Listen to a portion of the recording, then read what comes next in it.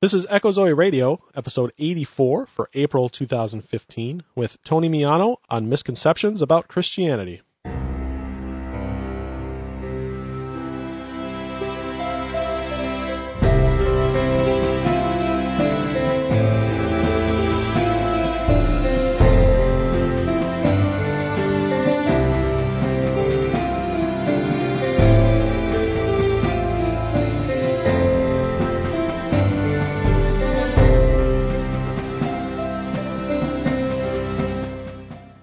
Welcome to Echo Zoe Radio, the podcast outreach of Echo Zoe Ministries, where you'll hear about important topics affecting the church today.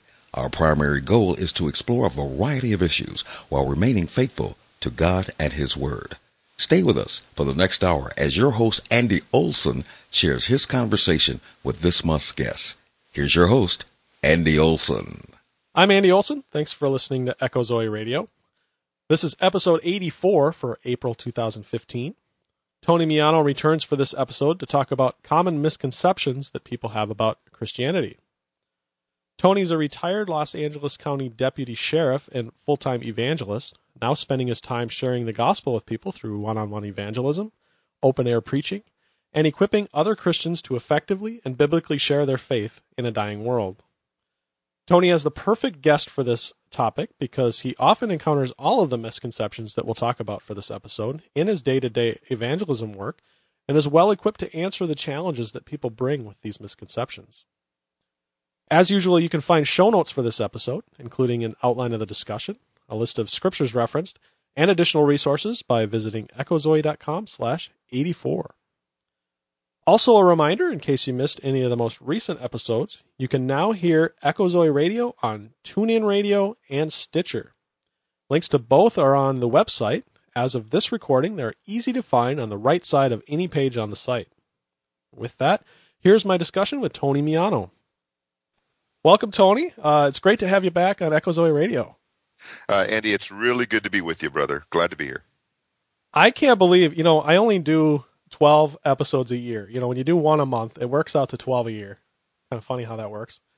and I can't believe that it's been, I've, I've done a full year's worth of, of podcasting since uh, last time we spoke. Yeah, it, it doesn't, it's hard to believe it's been that long, but uh, the older I get, the faster time moves, it seems. Oh, yeah. I noticed that right out of high school. You get out of high school, and of course, I hated high school, but then you get to college, yeah. you start having some fun, and it, uh, that time that clock ticks way faster once you get out of the. Well, I, have been out of high school for 33 years, so oh. imagine how fast it's spinning for me. Yeah, I'm coming up on 20. but uh, so our topic, we're uh, it's uh, we were kind of chatting a little bit beforehand. What brought this about? I'm running a little late this month, and as I mentioned before, uh, the listeners didn't weren't privy to when I have to push a episode back, and I get to be in the second week of the month and I don't have even a guest lined up yet, I start panicking a little bit. And um, so I, I, took the final exam for my architectural registration exams. Uh, there's seven tests. I took that on April 9th. And uh, so I didn't want to think about anything until I got that test done. And uh, it's done now. And I actually, a week later, I found out I passed. So I'm so happy to be done with that. I've been working on that for six years, seven tests. And uh, now I'm eager to jump back in and focus on uh, podcasting and talking about the Lord and the gospel and some of those theological issues. And one that you're great with, something you deal with all the time. We're going to talk about misconceptions. And we're going to talk specifically about misconceptions that unbelievers have about Christianity. A lot of that old hat stuff that you hear every day from hecklers and and professing Christians. Uh, I, you know, you, you sent me a, a, a basic outline uh, you know showing showing me some of the topics you would like to cover in the time we have together. And what you've presented to me uh, are are statements assertions beliefs uh, not only from uh, the professed atheist of which doesn't exist uh, but but many professing Christians uh, will make these arguments when they come across me when I'm preaching in the open air or in one-to-one conversations and as we go through some of these, and we probably won't get through all of them because I've got about a dozen different things on there. You're going to have to explain that because that seems sad for the state of the church that, yeah. that professing well, Christians would. You know, I, I, uh, Andy, I like to I like to always make a differentiation between American evangelicalism and the church. Uh, the the Bride of Christ as imperfect uh, and yet to be fully sanctified and glorified as she is in her present state. The Bride of Christ is beautiful. Uh, the Bride of Christ uh, does not follow the commands of Jesus perfectly as of yet, but that's that's her desire. She wants to worship the Lord in spirit and in truth. She wants to reach the lost with the gospel. She wants to have biblical community among the brethren. Uh, but American evangelicalism, uh, I believe, is a Christless, gospelless, demonic religious system in which the bride of Christ finds herself in the United States.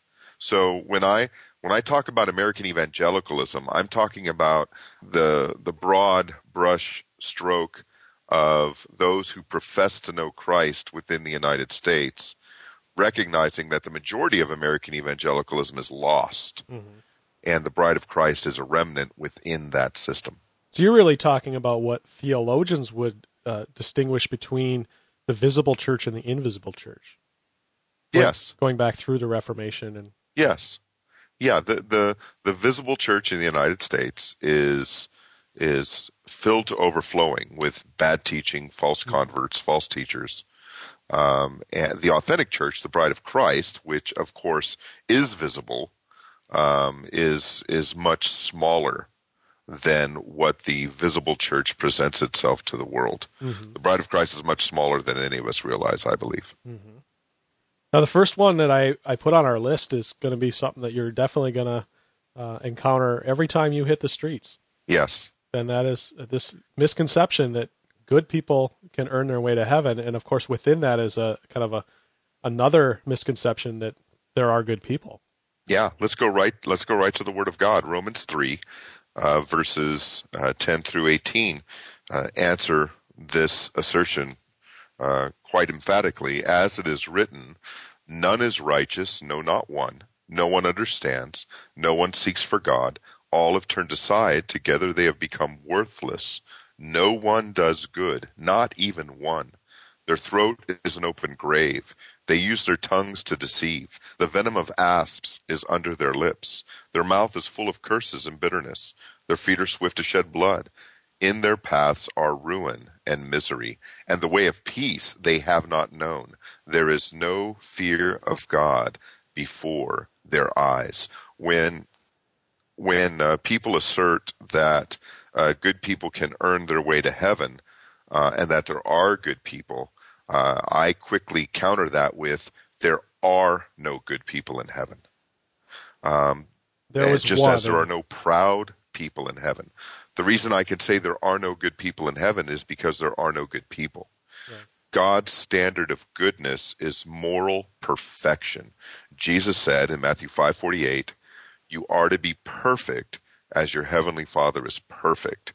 Uh, that is the only standard of goodness uh, acceptable to God, initiated by God, and it's a standard that none of us can live up to. There are no good people. Amen. And I am wondering yeah, I didn't know maybe a good place to, to bring this up, but man, maybe now's as good a time as any. But as we go through these misconceptions, given your history coming out of Roman Catholicism, I wonder how much of this is ingrained in that Roman almost cultic system.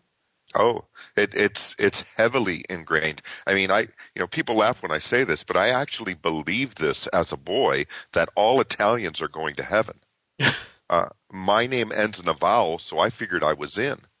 And and I was taught early on. I, I was taught to believe uh, many truths about about who Jesus is. That he was born of a virgin. That he was and is the only Son of God. That he lived a perfect sinless life. That he died on the cross. That he rose from the grave. Mm-hmm. I, I believed all those things from my earliest age. But I also believed I was and I was taught to believe that I needed to be a good person. That my good had to, had to outweigh the bad. Mm-hmm. And and so uh, and and Roman Catholicism is just like every other man-made religion, where there's a works righteousness uh, structure where you believe a certain set of of spiritual truths or untruths, uh, depending on the religion. But added to that is your own efforts to earn the grace of God, to earn the mercy of God, to earn the forgiveness of God through your good works and and through your good deeds. In fact, in in Romans uh, 14, I believe it's the second half of of uh, verse uh, 23, I believe. Um, uh, it, the Word of God tells us that anything we do, if it is not done by faith to bring glory to Christ, it is sin. Mm-hmm. Anything we do. So if if uh, if as a deputy sheriff I jumped in front uh, of another deputy to save his life and took his bullet, if I did that outside of Christ, even that is seen as sin. If I help a little old lady across the street and I don't do it for the glory of Christ or by faith in Christ, God sees that as sin because all of our good works, the prophet Isaiah made clear, are like a filthy rag. And as as uh, as detestable as the terminology is, I think it's important for people to know that that that phrasing, that word use in the Hebrew in Isaiah 66 that is often translated as filthy rag or dirty cloth or dirty rag is in actuality uh, literally a used menstrual cloth. Mm-hmm. And anything we do outside of Christ, any good work we do that in which we presume we are earning merit before God, God sees as a used menstrual cloth. Such a vivid mental picture there. Yeah, and and and yeah, as vivid and as grotesque as that is, and, and how maybe difficult it may be to convey that in in certain settings, you know, mm-hmm. with uh, with certain people.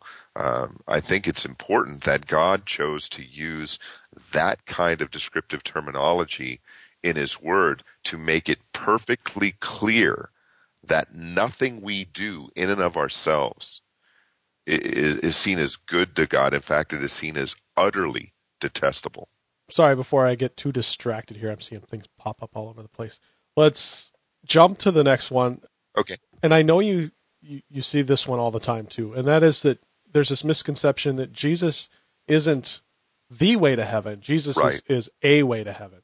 Yeah, yeah. We could thank people like Oprah Winfrey for uh, perpetuating that falsehood, but many others as well. And I and I get this from professing Christians, Andy, mm. that yes, I'm a Christian. Yes, I believe in Jesus Christ, but he's not the only way to heaven.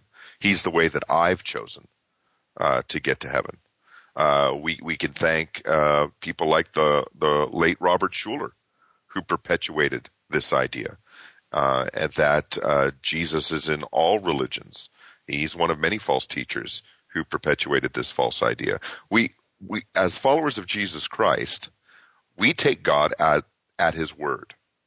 And Jesus said in John 14, 6, I am the way, the truth, and the life, and no one comes to the Father but through me.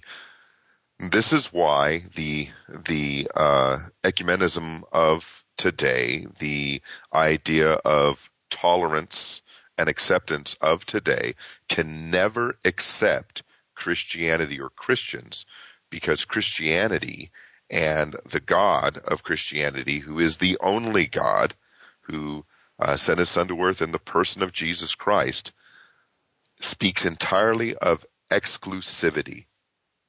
Jesus is exclusive. He is the only way to receive forgiveness of sin. He is the only mediator between God and man. He is the only way to heaven there are no others and it's not any jesus I, andy one of the things that that i battle a lot now on the streets and i'm i'm constantly reminding other open air preachers of this that it's not simply it's not enough anymore to simply name the name of jesus well, we know there's great power in that name we know mm-hmm. there's no other name uh, given among men under heaven by which we must be saved but there are so many false representations so many caricatures of of Jesus in other religions and other forms of thought that it's not enough for us to simply name the name of Jesus. We have to express to people in very certain terms which Jesus we represent. Uh, we don't represent the Jesus of Catholicism who continues to suffer and die on the cross through an unbiblical practice known as the Mass. We do not represent the Jesus of Islam that sees him only as a prophet second to Muhammad, when in reality Jesus created Muhammad, and it is before Jesus that Muhammad will one day stand to give an account for his blasphemous religion. We do not represent the Jesus of Mormonism that sees Jesus as one of a billion gods. For Mormon men believe that they one day will be the hmm. Lord and Savior of their own domain of their own world. They also believe that Jesus is a created being and the spirit brother of Lucifer. And and we don't represent the Jesus of of the Watchtower Society that also believes that Jesus is a created being and the incarnation of Michael the Archangel. And we don't believe in Oprah's Jesus, which is a, really cool dude that's one to many way, one of many ways to heaven. And we don't believe in many of the American evangelical representations of Jesus that see him as a homeboy, as an effeminate, blonde haired, blue eyed, surfer looking dude who hangs on the living room wall. Mm-hmm. We've got to declare that he is, he is and was and always will be the sinless Lamb of God who came to take away the sins of the world. He is the, the only begotten Son of God. He is the Lion of the tribe of Judah who will judge both the living and the dead. He was with the Father in creation. All things were created by him and through him and for him. Nothing has ever been made that was not made by Jesus Christ. And he owns the cattle on a thousand hills, not merely a, a wealthy rancher but he is sovereign Lord and owner over everything that he has made, including every human being. And he is also the Lord of every man.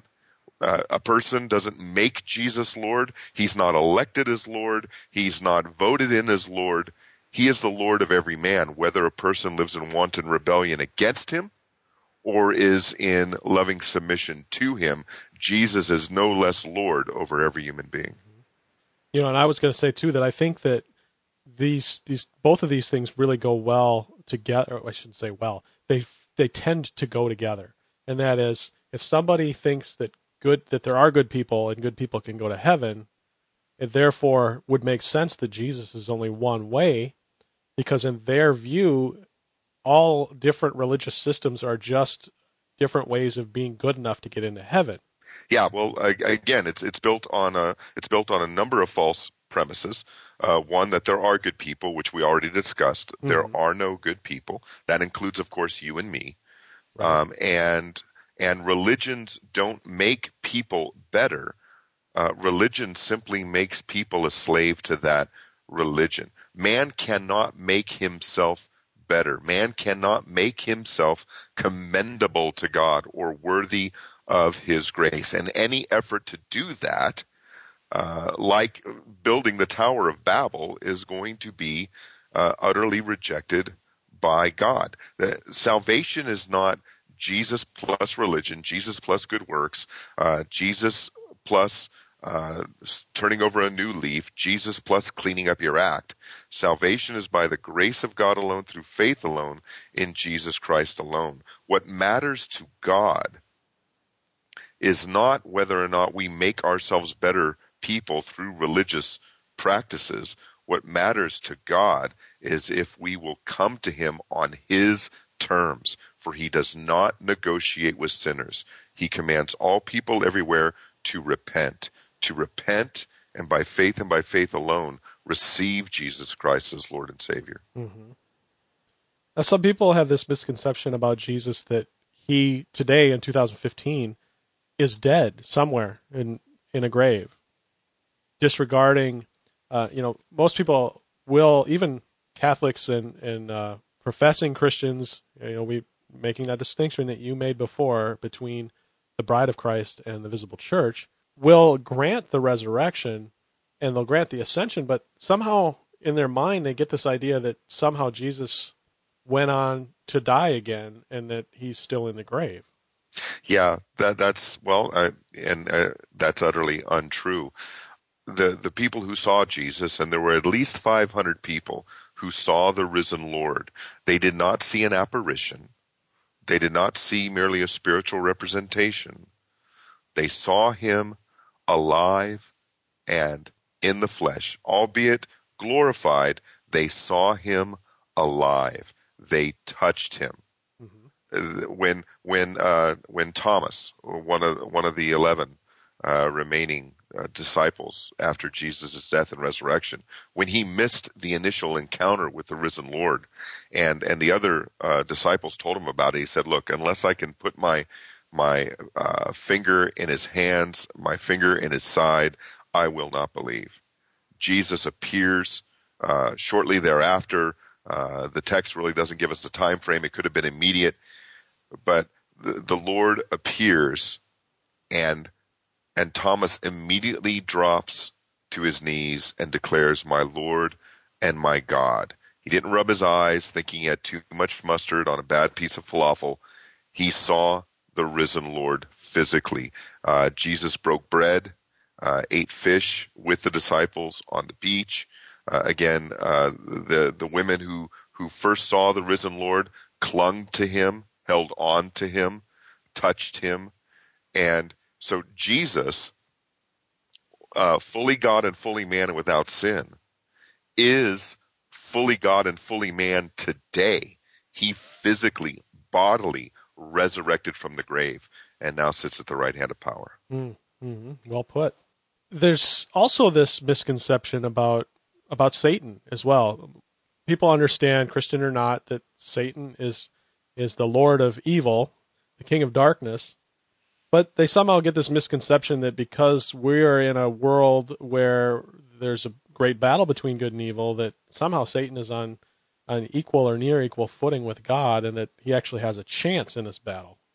Yeah, we and we could uh, we could thank tongue in cheek uh, the Word of Faith movement, uh, the health, wealth, health, wealth, and prosperity movement, um, you know, TBN, uh, Trinity Broadcast Network, uh, people like that, false teachers uh, who have created this mythology. Uh, I don't even want to call it theology. Right. Created this mythology that Satan kicked God out of earth, and that unless we invite him in, unless we give him permission to, by speaking you know, positive confessions and words of faith that God is not allowed to operate in this realm because Satan is in control.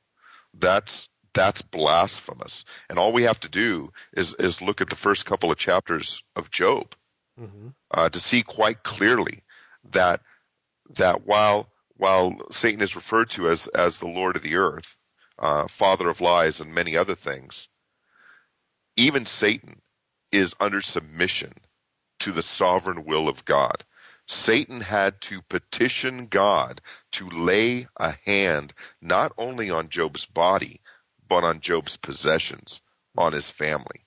Satan does nothing with without the uh, without the consent, uh, without God allowing it uh, to happen. Um, Satan is Satan is not in control. Uh, he is not he is not the Lord of hell uh, while while hell was created for Satan and his demons, uh, you know, all those who don't know Christ will spend eternity there, but they won't be there under the sovereign rule of Satan. They will be there under the sovereign rule of God. Satan will just right. be another eternally punished being who rebelled against God in hell. Mm-hmm. And I hadn't even thought about the, the word faith connection there, but it's that's a very important one to make. I mean, you know, we're so accustomed to this in our culture, seeing the cartoons of the guy trying to make a decision, and he's got a devil on one shoulder and an angel on the other. Yeah, and it gives us this false perception before we become believers that somehow those two, those two beings on our shoulder, if if they were even real, are somehow on equal footing. Yeah, and they're not.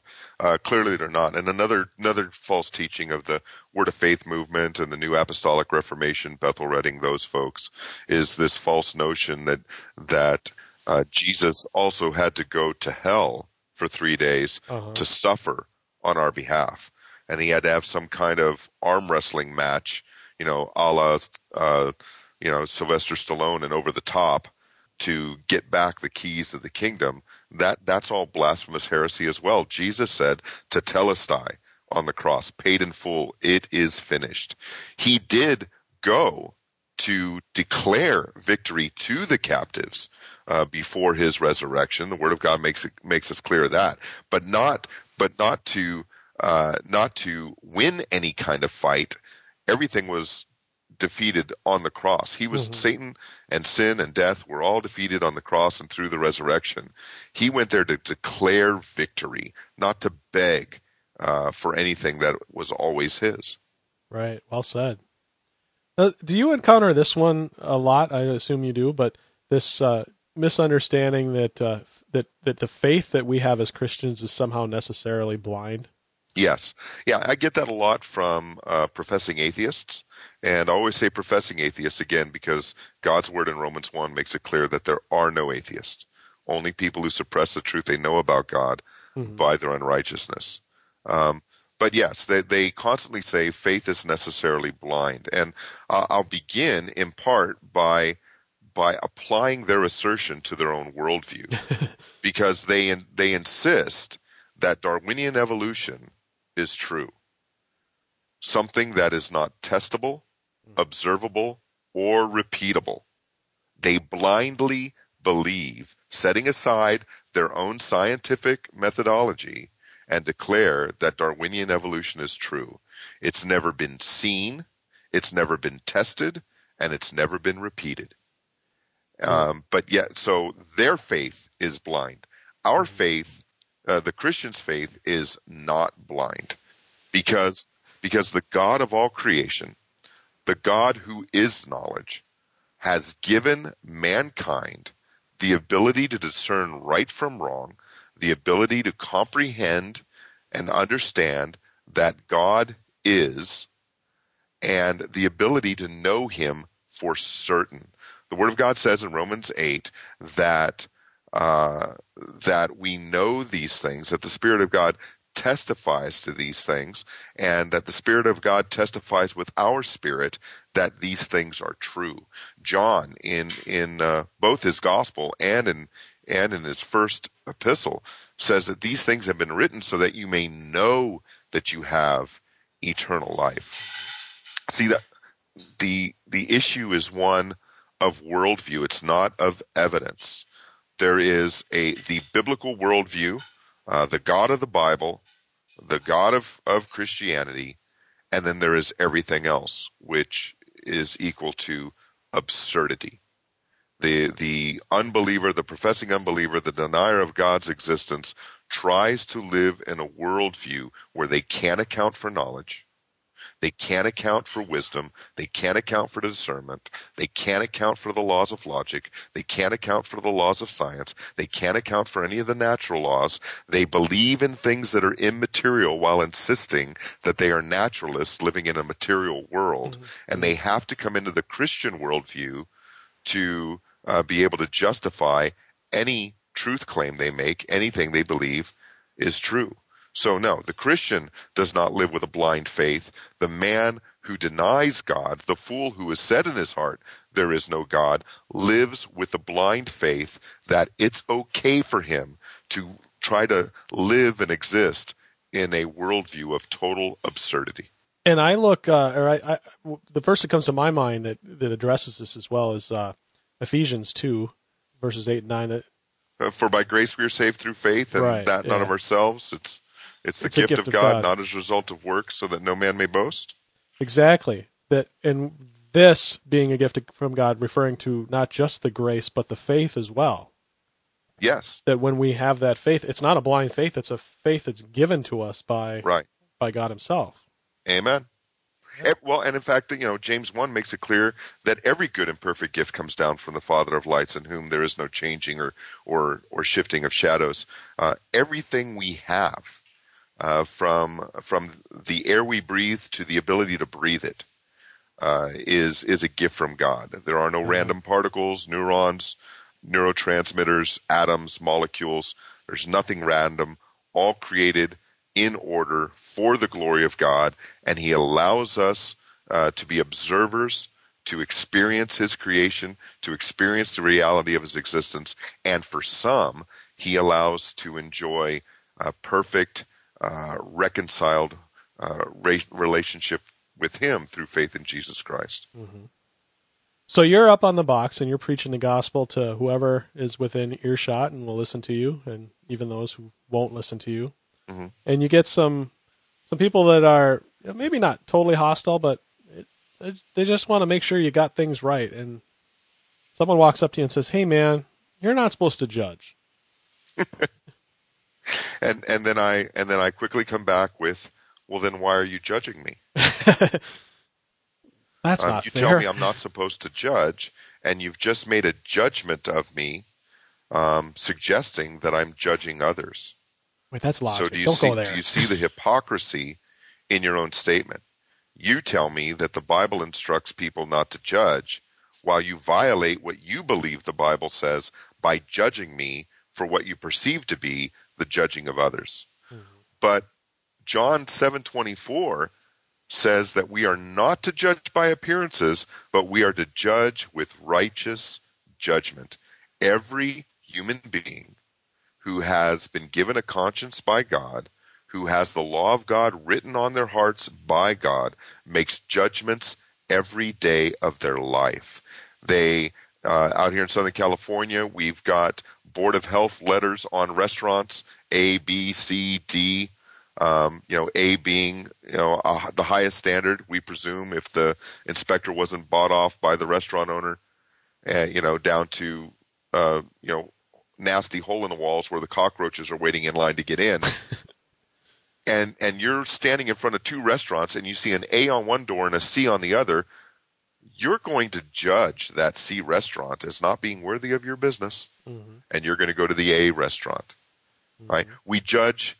We judge all the time. We see a suspicious character walking toward us, regardless of race, and we're nervous. We begin to check for our purse or our wallet. We hold the purse tighter. We put the wallet in our front pocket. We might cross the street. We make judgments all the time. You mean to tell me that when uh, the unbeliever reads the newspaper and sees the story of a pedophile who had been arrested for victimizing small children, you mean to tell me that unbeliever doesn't make a judgment about that pedophile? Of course he does. Mm-hmm. And, and if he says he doesn't, then are you going to invite the pedophile to babysit your kids, Mr. Non judgmental? Why not? You shouldn't judge him. We all make judgments because the God who created us, in whose image we were created, is a judge. Now, many, you know, many people say, judge, you know, judge not lest you be lest you be judged, right? Everybody yep. knows Matthew 7 1. Yep. Right, but no one knows John seven twenty four. Everyone knows Matthew seven one, and and I repeat back to them what what I heard Paul Washer say: "Twist not Scripture, lest you be like Satan." Matthew Matthew 7 1 makes it clear that if I'm looking at pornography, I ought not be pointing or wagging a finger at another man saying it's wrong for you to be looking at pornography. Mm-hmm. If I'm out getting drunk, I shouldn't be wagging my finger at, at a professing Christian who who I see staggering out of a bar. Right? Uh, I that's what it means to uh, remove the log from our own eye before we worry about the splinter in someone else's. Mm-hmm. But we most certainly are to judge. We're to judge with right judgment. Uh, uh, scripture makes us makes that very clear. And anyone t- who tells me it's wrong for me to judge people is being a hypocrite by judging me for judging people. Right. Yeah. Now we're going to get into some of those people will think that there are contradictions in the Bible. They'll bring up things like slavery and treatment of women. Yeah. One, How one do you deal with that when someone comes and says, "Well, what about slavery? What about women?" You know, this is a, yeah. a misconception that that because there are slaves in the Bible, mm-hmm. that therefore the Bible condones slavery, and because in our own country, in our own history of slavery, slave owners used some of those passages to justify their slave ownership how do we address this misconception that that slavery is somehow not the wicked evil that it really is? Right. Um, one of the first things I do when when someone when when someone comes up to me um, and asks a question, they do it one of two ways. Mm-hmm. They'll they'll either say, you know, it, it seems to me like the Bible condones slavery. Can you explain that to me? Mm-hmm. Or they'll say, hey, your Bible, your holy book says slavery is good. What do you say about that? Mm-hmm. Well, the first guy is probably looking for an answer to his question. And that's the why sec- I want to address the second. The second guy is merely trying to justify his unbelief yep. at my expense. Yep. So with the second guy, I would say, I would ask, why is slavery wrong? And immediately and immediately level an assault against his worldview. He is making he is making a moral assertion a that judgment? slavery is wrong. Uh, he's making a judgment. I'm sorry. He's making a judgment. He's making a judgment. Yeah. yeah, he, he's asserting morality. He's he's making a truth claim. He he's asserting that there is right and there is wrong, and I immediately ask him, how does he account for that?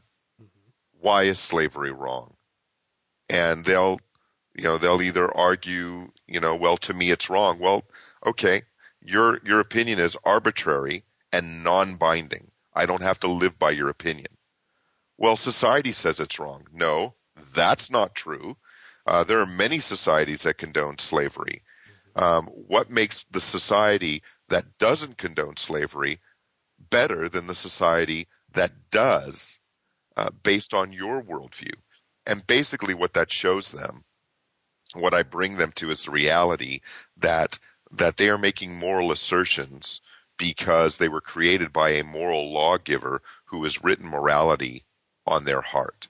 Yeah. So so I deal with that.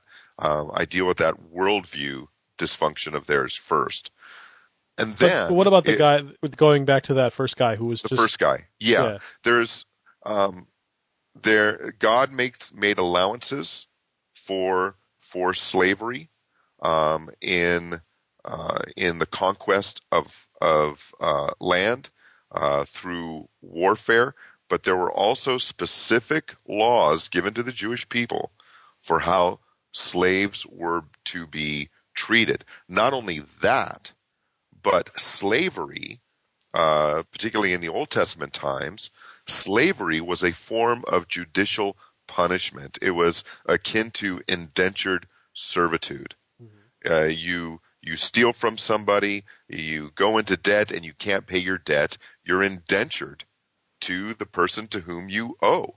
You become their slave. But in but even outside of Jewish culture, um, uh, back in New Testament times, for you to insult a slave was to slap the face of the slave owner. For you to mistreat a slave was to mistreat the slave owner. Many slaves, uh, especially in the Greco Roman culture, lived better than free people because of who their masters were. Hmm. And uh, according to Jewish law, uh, a slave, uh, I believe it was after seven years, was was uh, given his freedom. There, there were some conditions to that, but he was given his freedom. And then it was the option of the slave whether or not he stayed or left. And if he decided to stay, they would they would put his earlobe against uh, uh, against the doorpost and pierce it with an awl, indicating that this person was now volitionally, voluntarily committing himself to serve his master for the rest of his life. What we don't see in Scripture is the slavery we saw in the 17th, 18th, 19th centuries of Europe and uh, and America, where where people were were subjugated, beaten, uh, uh, mistreated, uh, raped, used, abused, maligned, counted as three fifths of a person because of the color of their skin. Uh, the the Bible doesn't know anything of the slavery Uh, uh, Western Europe and the United States experienced two, three hundred years ago. Right. Well said. Thank you. Another one. This one we see a lot, especially in the media. We see, we get people who will think, you know, if you're a Christian and you believe the Bible and you live by what you believe in the Bible, you believe it so much that you're going to live it out. You are a Christian fundamentalist. And fundamentalism of course, is always equal in their eyes, whether you're a Christian fundamentalist or a Muslim fundamentalist. And so, because fundamentalist Islam can be a very violent religion, they just say, well, because fundamentalism is fundamentalism, you Christians must be violent people too. Mm. Yeah, that that is uh, very easy to dismantle. To dismantle, very easy to disarm. The Christian fundamentalist, uh, and of course, you know, you and I both know that different people define that term fundamentalism in different ways. Right. But in but in the context of this present assertion, uh, this present conversation, the Christian fundamentalist is one who loves his neighbor. The Islamic fundamentalist is one who will kill him. So they they are mutually exclusive. Christian fundamentalism and Islamic fundamentalism are mutually exclusive. The Christian fundamentalist believes the Bible. The Islamic fundamentalist believes the Quran, and they say opposite things about who God is, who Jesus is, how we are to treat our fellow man, how we can have sin forgiven, how we can receive eternal life. They are mutually exclusive beliefs. It is the false convert to Islam, many of whom live here in the West, that believe that Islam is a religion of peace. They do not believe their own scriptures. Just as the Christian who says there's many ways to God, that Jesus uh, isn't the only way, that if you go to a movie, you're in sin, that if you're a woman wearing pants, you're in sin. Those are false converts who don't believe the, the Christian scriptures. Mm-hmm. So you, you can't equate Christian fundamentalism with Islamic fundamentalism. And then if the person says, well, what about Westboro Baptist? Well, there's nothing Christian about Westboro Baptist. What, what about what about the Crusades? Well, those were predominantly a Roman Catholic run uh, industry. Uh, going out and, and killing people because they don't believe as you believe is sin in God's eyes, regardless of, of what brand or, or color of fundamentalism you want to paint it in. Mm-hmm. Yeah, there's a lot of rabbit trails I could go down on that one, but uh, I think you're sure. well said. I, I guess um, I'm I'm sorry. I'm looking at the clock and I'm thinking we're getting through these faster than I thought we would. Well, we could talk about other stuff too. yeah, we sure can. So, go, so let's go down a couple of those rabbit trails that, that well, um, let's talk about the the Crusades. I think okay. there's a lot of misconceptions around the Crusades as well, and that you were correct when you said they were predominantly Roman Catholic endeavors, but that they were conquests. It's not not quite as much. Not what people think. You know, a lot of the Crusades set out to go and and liberate Jerusalem so that pilgrims could, could go make their pilgrimages to Jerusalem. But for the most part, mo- most of the Crusades didn't even make it to Jerusalem. They were too busy conquering right. other professed Christians along the way. Yes, that yeah, that's true. And and many many of the the, the conquest battles we know were uh, were responses to the tyranny of Islam mm-hmm. uh, as well. Um, you know, and I guess we can get into the whole conversation of what is a just war, what is not a just war. Um, eh, you know, but the the bottom line is that Scripture makes it Scripture makes it abundantly clear that that no one comes to faith in Christ by the sword. Right. Islam, on the other hand, teaches that that people will come to Islam by the sword, or they will be die, or or they'll die. That, that's one of the things that troubles me with with some uh, eschatological movements uh, today, even within Christianity. Yeah. Uh, because I, I think about what what could possibly be the end game uh, if if these philosophies are actually lived out, and I can't help but to see a profession of faith in Christ as a way of avoiding the death penalty. You, know what I mean? Yeah. Uh, in, in, a in a theocratic type of of government government setup, and you know, I don't know if we want to go down that rabbit trail. And I'm not I'm not nearly as well educated on eschatology as I should be, but but any anything, any philosophy, any theological construct that in any way could lead to conversion by the sword is not Christian. So if during the if during the Crusades people were people were making professions of faith in Christ because it was better to do that than get their head lopped off. They weren't coming to faith in Christ, and the people who were demanding that, in all likelihood, were not Christians. Right. Well, that's a good misconception that wasn't on the list. Ah, there you go. the um, the whole eschatology thing too. I think you know this this idea. I would put that as a misconception. I think there are people who legit. You know, I talked about this last month with J.D. Hall and the month before with R. Scott Clark on theonomy and federal vision. Both smarter men than me. Well, there's a lot of smarter men than both of us. A, a, lot of those two views are are tied heavily to postmillennialism, and you know, I I, I think J.D. Hall last month was very charitable, and and I would stand with his charity in saying that that while we don't agree with postmillennialism, we wouldn't call postmillennialists uh, false teachers per se, but uh, a lot of those or false converts, false converts as well. But a lot of those uh, really bad eschatological views kind of flow out of, not necessarily are part of, but flow out of your postmillennialism, your dominionism, yeah. and whatnot. And and and really, and, and you know, Andy, and uh, it, it, what concerns me, what concerns me most, I think, about the most popular cage stage of the moment, which is an eschatological cage stage. You know, there, has been the, the Calvinist cage stage, there's been the biblical evangelism cage stage, there's been the ecclesi- ecclesiological cage stage, and there, I'm sure there's probably been others. Mm-hmm. But what concerns me about any person locked in that cage stage is not so much the theology they're adhering to or promoting, unless, of course, it is flat out damnable heresy. Well, then, of course, it's a concern. Yeah. Um, but what concerns me more, I, am concerned. I'm, I'm concerned about some people locked in this eschatological cage stage, not because of what they believe, but because of how they're treating other brothers and sisters in Christ.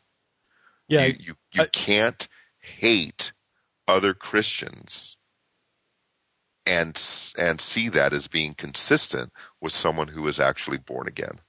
I'm glad you said that because I think, and I'm glad you put that in the context of of cage stage and and whatnot because that seems to be a problem that is easy to fall into.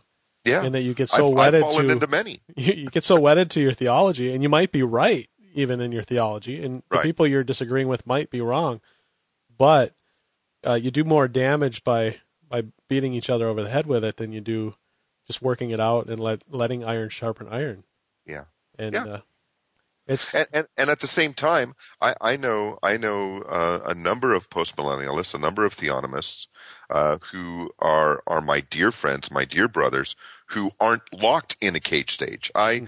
I firmly disagree with their position, but I love them and I can minister alongside them and they could share my box, mm-hmm. you know, and we can have great fellowship together because I don't hate them and they don't hate me.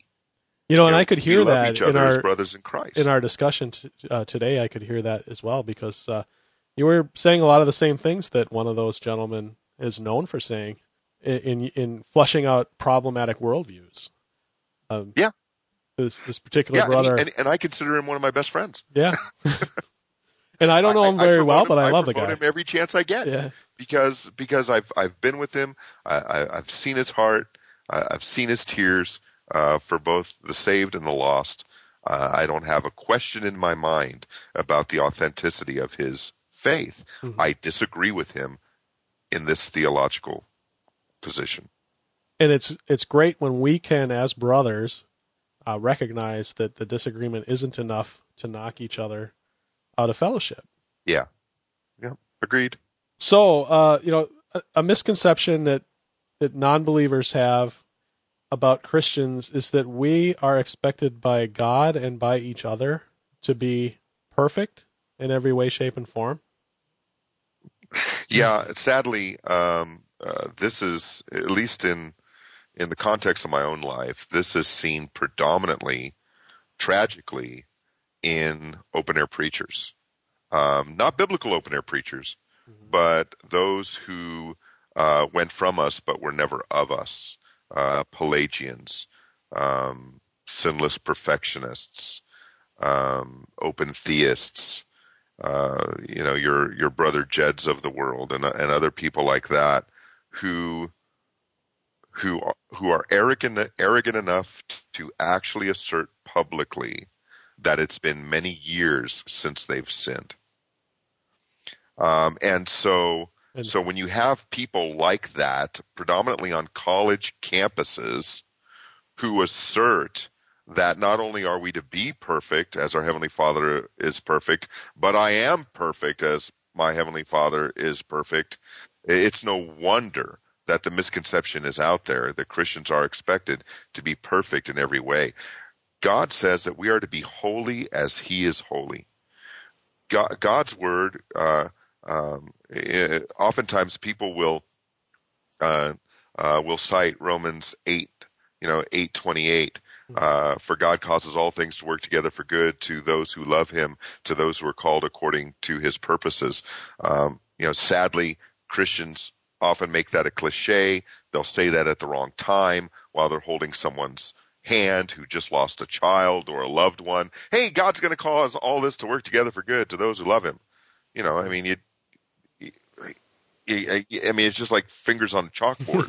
you know, and certainly while there's truth in that, the good that God is going to cause is found in verse 29. And that talks about being conformed to the image of Christ. Mm-hmm. Uh, sanctification uh, as as you know, is a process. Um, it, it, begins at conversion.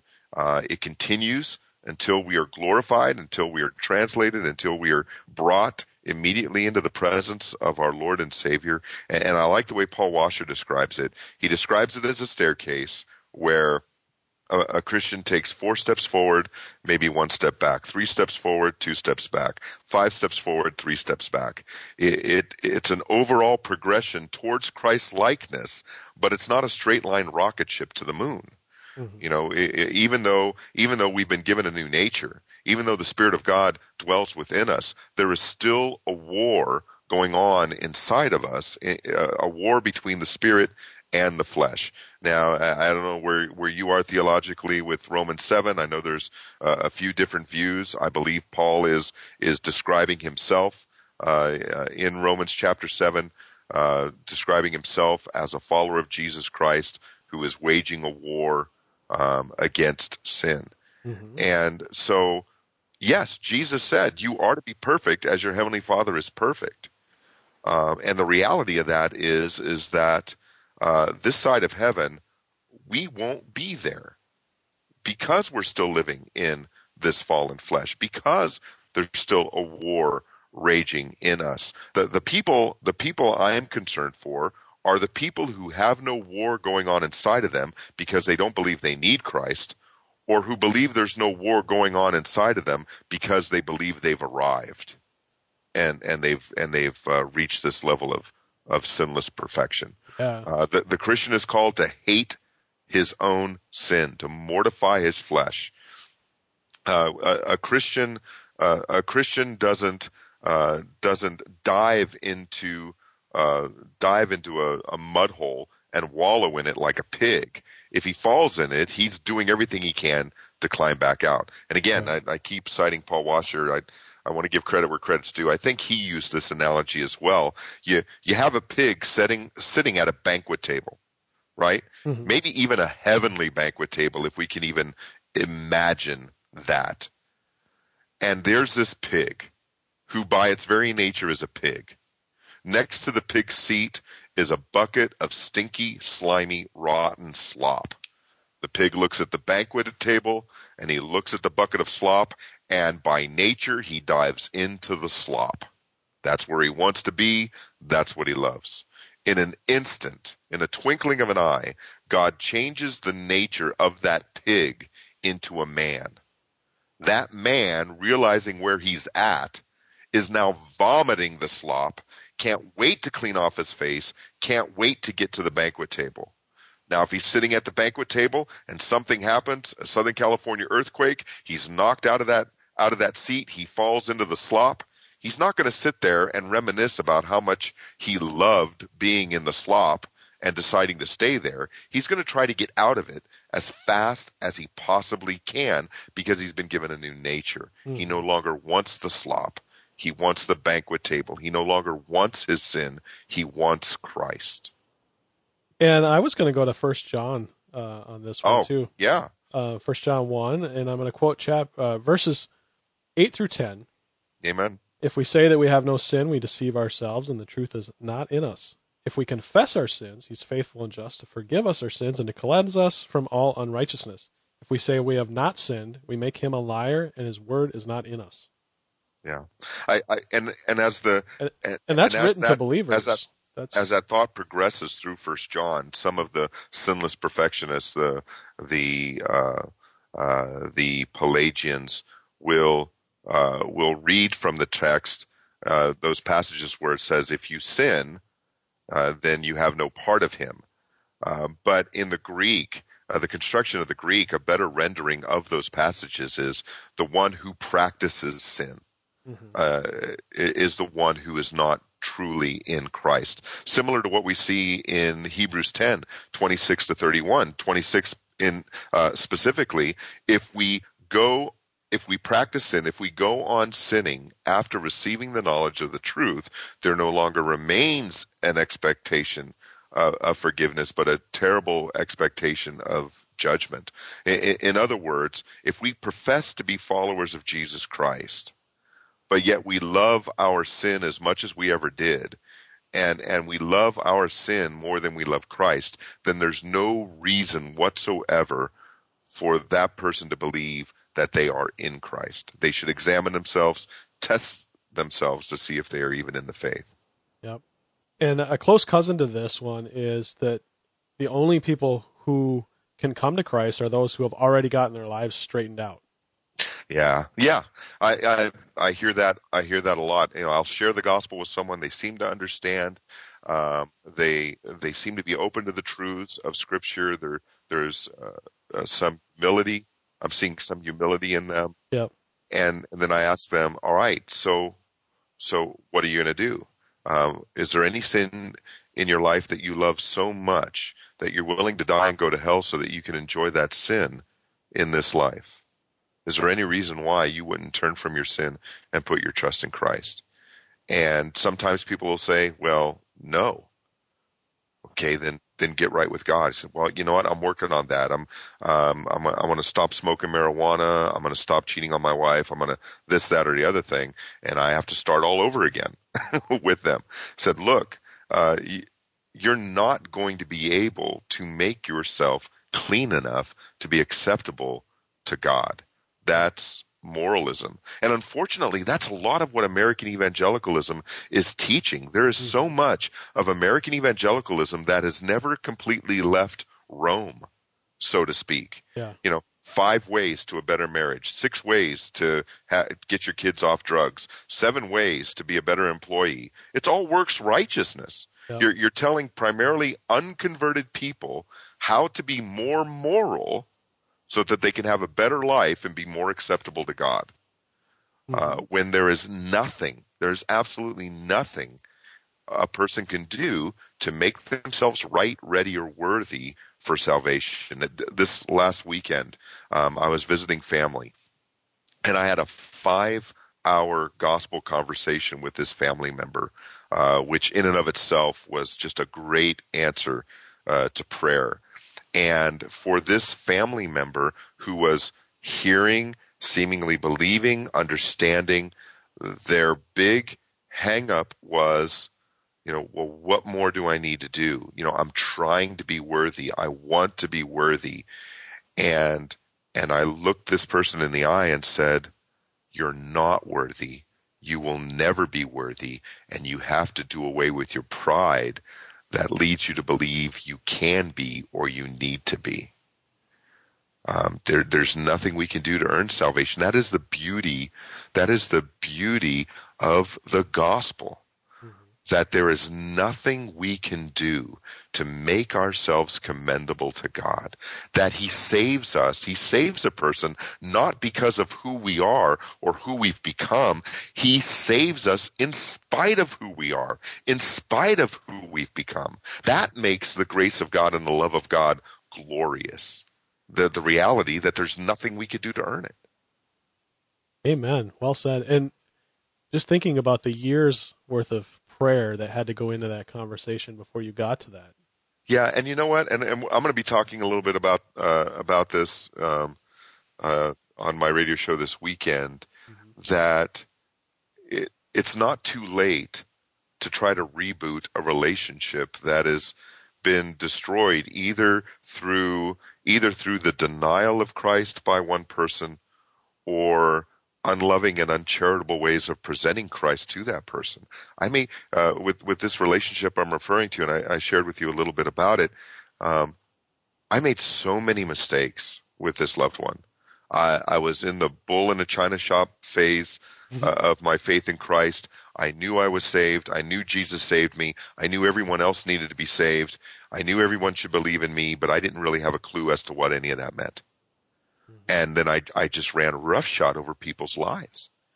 And uh, by God's grace, decades later, He allows me to have the best conversation with this family member regarding spiritual things, regarding the gospel, regarding repentance and faith that I've ever, ever had. And he's allowed me to literally reboot that relationship through the gospel.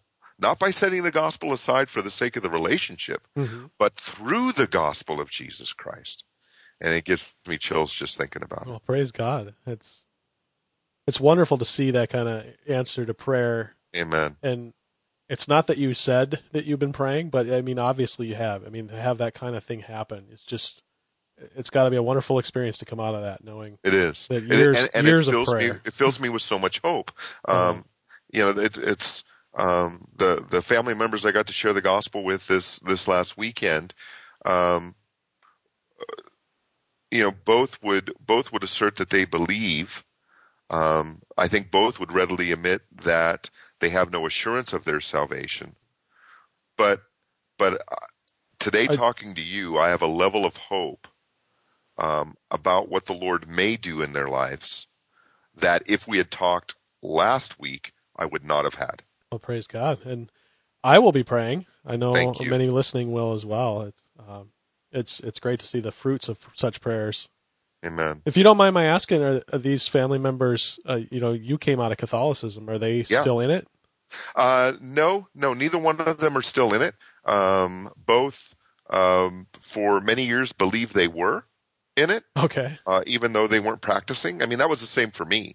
When uh-huh. uh, you know, I moved to California when I was ten, and moving from Pennsylvania to California, that was the last time, the last time I ever stepped into a Catholic church unless it was for a funeral or a wedding, was uh, when I was, you know, nine, ten years old. But yet, for years and years, I held on to the belief that I was a good Catholic. I was a, I was a, I was an ethnic Catholic. I was, uh, you know, uh, a social Catholic, but I wasn't even practicing the Catholic religion. Sure. And, and, the same would be true with, with many of my family members. Uh, on both sides of our family, Mar- Maria, my wife, her side of the family is predominantly Methodist, uh, but many of the people on her side of the family are two day a year Methodists, you know, uh, Easter and Christmas. Uh-huh. Um, but would still very much hold on to the fact that they are good Methodists, that they are followers of Jesus Christ. Um, but yet uh, well that just goes right back to those early misconceptions that we had yeah. talked about you know just thinking that we can be good people and along with being this misconception that good people get to heaven is this kind of god create uh, god grades on a curve kind of thing where if you can mm. point your finger at somebody who does things worse than you do you sh- should be okay because between, yeah. between the two of you, you know, you're the shoe in well I, I like to tell i like to tell people like that you know, if you had come up to me and said that, uh, I would say, Andy, you need to understand that there are nicer people than you and me in hell today. Mm-hmm. There are people who are way nicer than you and me, people who have been more benevolent, people uh, who have given more to the poor, people who have done more for society, people who have done more to better the lives of other people than you and me, who are in hell today. Because God does not grade on a curve. He's he's not arbitrary. The word of God says that God will not be bribed, God will not be mocked. He is not like a corrupt judge in a human courtroom. I mean, imagine if if I were if I were convicted for some kind of crime and it was the day of sentencing and I walked into the courtroom and the judge says, "Hey Tony, what do you have to say for yourself?" Well, Your Honor, um, I want to let you know that I I washed the windows on your Mercedes on the way into the courtroom, and here's twenty bucks. I think we should forget the whole thing. What do you say? Oh, I'm, I'm going to go to prison for a longer period of time, and the second crime, in, in all likelihood, was worse than the first that got me to stand in front of the judge. You know, I, I could have been in there for a petty theft, looking at 30 days in the county jail, and now I just tried to bribe the judge, and I'm going to prison for years. oh. God will not be bribed. God does not grade on a curve. God does not judge a person based on the color of their skin, does not judge the person based on where they were born, how they were raised, how much money is in their wallet, how little money is in their wallet, how much they put in the plate on Sunday, how many good things they do, how many. Uh, God does not judge that way. He's not arbitrary. God is good. He judges everybody uh, against the same perfect moral standard. His law. Mhm. You know, if you and I, if you and I got popped for robbing a, uh, I don't know, do you have 7-Elevens in Minnesota? We don't. I think the nearest one is in Madison, Wisconsin. Okay, so let's say you really had a burr under your saddle to go rob the 7-Eleven in Madison, Wisconsin, and I happen to be visiting you, and you convince me that we ought to we ought to go do this together, and uh, and so we make the drive all the way into Madison, Wisconsin. Three and a half hours. And- yep. Uh, what's that? Three and a half hour drive. three and a half hour drive. I mean, this just goes to show that criminals are job security uh, to law enforcement because you don't have to be a Rhodes Scholar to be a bad guy. Uh huh. All right, so you and I get this bright idea to drive three and a half hours one way to Madison, Madison Wisconsin, to uh, to rob this 7-Eleven. We pull it off. We're not very good at it. We get caught. We're standing before the judge. We admit we've already admitted to the crime. The evidence is there. He has found us guilty, and the judge says, "Tony, I sentence you to life in prison because you can no longer grow hair and all of your children are adults." Andy, I'm going to let you go because you still have some hair on your head and your children are young. Would that be justice? Absolutely not. Absolutely not. And and we would think it ridiculous for any human judge to judge arbitrarily that way. Yet human beings believe that God is arbitrary in his judgment. Mm-hmm. And and we always find we always find someone else's sin worse than ours. I, I tell people God is not only going to rid the world of the sin we hate, but he's also going to rid the world of the sin we love. Yeah. And he's going to start with us. And here's a, another little rabbit trail uh, that that kind of goes along those lines. I'm convinced that there are certain sins in our world today that even if people don't commit them, they they go along with them Oh and yeah. they consider them to be not so bad. And I think that spiritually they do so because they figure if I've got to answer to God someday, I can point to that guy and say, well, that sin was worse than mine. Yeah, you know, and that immediately takes me uh, to Romans 132, Andy. Though they know God's decree that those who practice such things deserve to die, they not only do them, but give approval to those who practice them. Uh-huh. Um, yeah, uh, the yeah people today they um, they they they condone all kinds of things. Uh, they they condone the things that God hates. They hate the things that God hates, uh, or they love the things that God hates. They hate the things that God loves. They're they're arbitrary in their judgment as to what is right, what is wrong, what is good, um, what is evil, and uh, and and the hypocrisy of that way of thinking is it should be so obvious, but but people are utterly blinded by their sin, by their um, by their hate of God. Um, and and you had made I'm trying to remember what you said. You had made a point. Can you repeat what you just said, or in part, or oh, that, that that people, even though they don't practice these sins, that they they go along with them and they encourage them because they figure that the when they if they Uh, ever have to stand before God, they can point to that guy and say, "Well, his sin was worse than mine." Yeah, and here and and and here's where I go with with that kind of thinking. Uh, many people believe um, that the day of judgment is a court trial. Mm-hmm. They believe that they're going to stand before God. They're going to be able to present evidence of their own perceived goodness. They're going to lay before God what they believe are good works. What you and I have already discussed are like a filthy menstrual cloth to God, filthy rags. Oh, my wife just cringed. Uh, honey, that's that's actually what it means in the Hebrew. Yeah, yeah. I guess I've never shared that with her. Um, but um, people believe that they're going to that they're going to lay out their body of work, uh, and the good's going to outweigh the bad, and that they're going to be able to call witnesses to testify to their own goodness. What they don't realize is that the day of judgment is not a court trial; it's a day of sentencing. For if one does not love the Son of God, if one does not obey Jesus Christ, the wrath of God already abides on them. They've already been judged. They're on God's death row, simply awaiting the sentence to be carried out. There won't be a word spoken by them on the day of judgment. They will simply have meted out to them the sentence they deserve for their sins against God. And I and one of the objections, you know, uh, here's another objection I often hear is that you know if God if God existed, if God was good, He would rid the world of evil, mm-hmm. right? As if the the presence of evil somehow is evidence against the existence of the one they accuse of causing the evil. I mean, that's that's how people think mm-hmm. in, in an absurd, godless worldview, utterly irrational. But what I'll do is I'll look at my I'll look at my watch and you know let's say well right now according to my computer it's 436. So I'll tell the people in the crowd the time. And I'll say, if you want God to rid the world of evil, and he answers that request at 437, where will you be? Because yes, God's going to rid the world of the pedophile who you hate. God's going to rid the world of the, the rapist who you hate. God's going to rid the world of the mass murderer, the, the college campus murderer who you hate. God's going to rid the world of the white collar criminal who stole all your savings, who you hate. Yes, God's going to rid the world of that evil, but he's not going to stop there. He's going to rid the world of every liar, of every thief, of every blasphemer, of every adulterer, not only in body, but in thought, of every person who's not satisfied with what God has given them. He's going to rid the world of all evil. So where does that put you now that it's 437?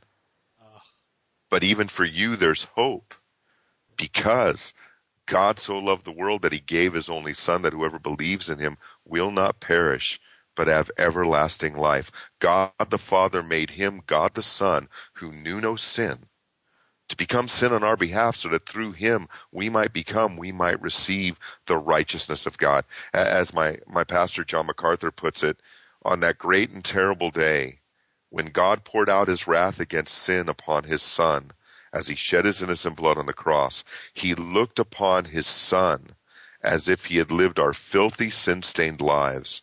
And in exchange for those who by faith repent and believe the gospel, he looks upon them as if they had lived his son's perfect, precious, and priceless life. And as Titus 3 tells us, he saves us not on the basis of anything we have done in righteousness, but based entirely on God's mercy. Wow, wonderful way to close. Thanks, Tony. Uh, yeah, you know, we thank spent you. a lot of time talking about the misconceptions, and I'm glad that you wrapped it up by giving the, the, the good news of the gospel there. Amen. Well, it's it's been a pleasure being with you as always, brother, and um, I, I love your podcast. I, I love the ministry God has given you, and I'm grateful to call you friend. Well, thank you. I uh, that's a mutual feeling. And um, you you mentioned uh, your upcoming show. I'm doubting that. First of all, that I'll have this up in time. If even if it is, people probably won't be able to listen to this and in, sure. in time listen to your show. But but yours is weekly. So can you share you know a little bit about your your radio show? Yeah, it's a it's um, a live broadcast on uh, Blog Talk Radio. Mm-hmm. It's called Cross Encounters Radio. Uh, you can uh, find links to that uh, on my website at crossencountersmin m-i-n uh, dot com. Um, if you search iTunes for Cross Encounters Radio, um, all the shows are podcasted immediately following the broadcast, mm-hmm. and so you'll be able to find not only the one I referenced, uh, but any of the other shows we've done over the last uh, two and a half years. And you do that with a couple of other brothers in Christ. Yeah, with uh, Rich Rich Story out of uh, Mathiston, uh, Mississippi, and Chris Hohnholz uh, out of Sparks, Nevada. Two very good friends. Yeah, it's a good show. I, I love the camaraderie you guys have together, and I encourage people to to tune in. I usually catch it as a podcast. Yeah, a little yeah, and, and if they wanted to listen to it live, it it airs Saturday afternoons. Uh, 4 p.m. Uh, depending on our content, we'll go anywhere from an hour to 90 minutes to two hours, depending on what's on our And mind. that's 4 p.m. Pacific. 4 p.m. Pacific time. Yes, sir. Okay. Well, thanks so much, Tony. It, Yeah, thank it you, is brother. a pleasure to just to talk to you again. And I can't believe it's been a year since we've done one together, but uh, it's good. glad to have you back. Oh, thanks, brother. Good talking to you. Echo Zoe Radio is an outreach of Echo Zoe Ministries. If you are blessed by the show, please consider offering your support. There are many things you can do to help, including prayer, sharing the show with others, and your financial support.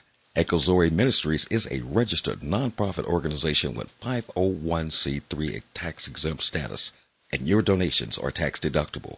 For more information about how you can support Echo Zoe Ministries, please visit echozoe.com slash support. That wraps up episode 84. Thanks for listening to Echo Zoe Radio. For show notes, visit echozoe.com slash 84.